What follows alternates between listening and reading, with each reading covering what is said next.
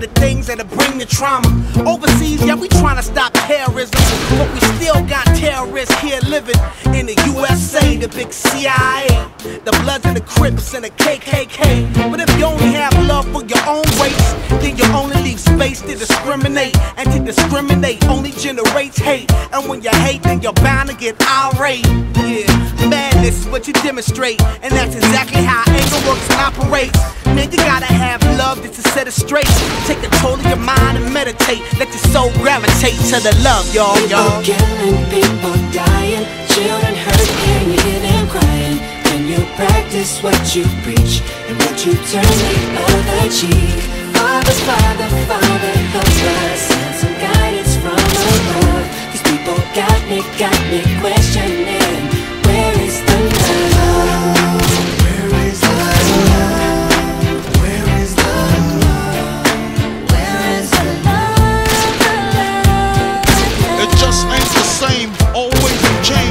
days are strange, is the world insane?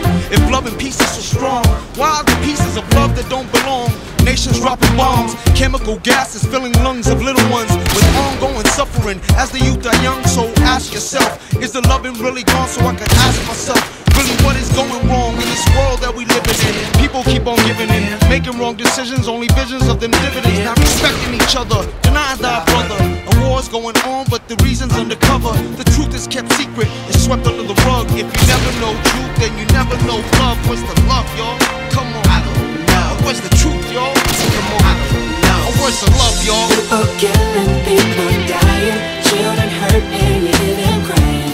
When you practice what you preach, and what you turn the other cheek. Father, Father, Father,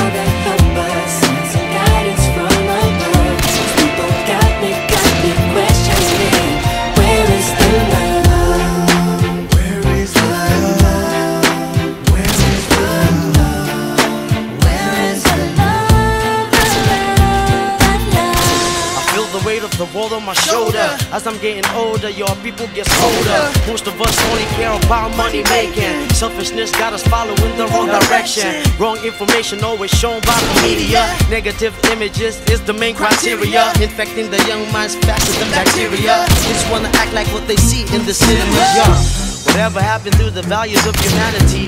Whatever happened to the fairness and equality? Instead of spreading love, we're spreading animosity.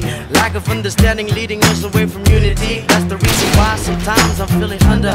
That's the reason why sometimes I'm feeling down. It's no wonder why sometimes I'm feeling under. Gotta keep my faith alive love is found. People